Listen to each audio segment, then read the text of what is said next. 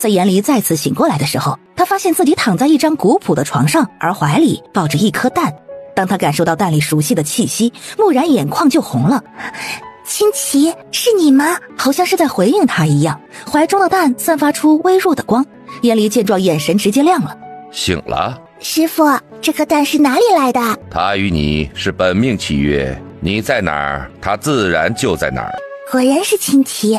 严离闻言，看向怀中那颗蛋的目光更加柔和了。当初自己被宋景清和白依依联合起来背叛害死，在临死前，他将自己其他契约伙伴都封印了，唯独青奇自己的本命契约兽无法封印。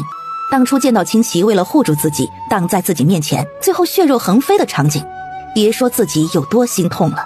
还以为再也见不到青奇了，没想到自己重生了，青奇也跟着自己重生了。师傅，我要怎么将它孵出来？需要用你的灵力去孵化它，不过它的等级太高了，就凭现在的你想孵化他是不可能的。严离闻言沉默了，他这才想起取出三根锁灵钉之后，自己已经能够修炼了。于是他运转了下自己身上的灵力，大灵师见到自己目前的等级，严离有些嫌弃。已经很好了，你都还没开始修炼呢，这还是之前你在灵泉中浸泡了那么久的功劳。严离闻言，有些不好意思的对自家师傅一笑，自己。